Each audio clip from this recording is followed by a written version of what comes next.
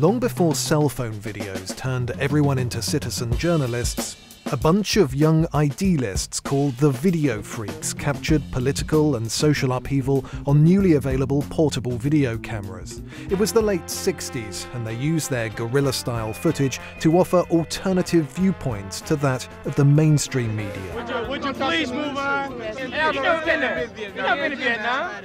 I've been there. I got shot, man. They left me for dead, man. I give my life for you. For you. Now, a documentary, Here Come the Videofreex, has been released, charting their story. The founders, David Cort, Mary Curtis Ratcliff, and Parry Teasdale, met while interviewing the crowds at Woodstock in 1969. Parents of the past generation have done a job. And the kids know it. I know it's running.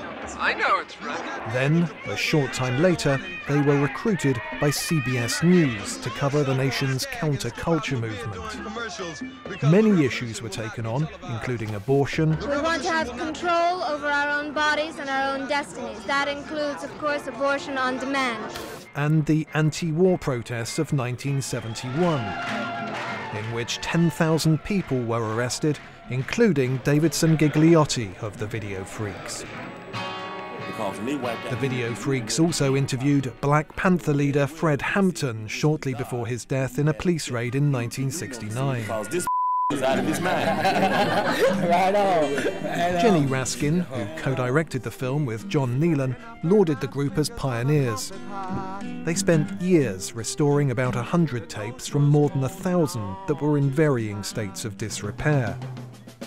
Eventually, CBS pulled the plug on the Videofreex, and between 1971 and 1978, they lived and worked on a farm in upstate New York, where they launched the nation's first pirate TV station. Lanesville TV is back on the air. Along with the film's release, an exhibition called Videofreex The Art of Guerrilla Television is showing at the Samuel Dorsky Museum of Art at the State University of New York. Is there any tape left?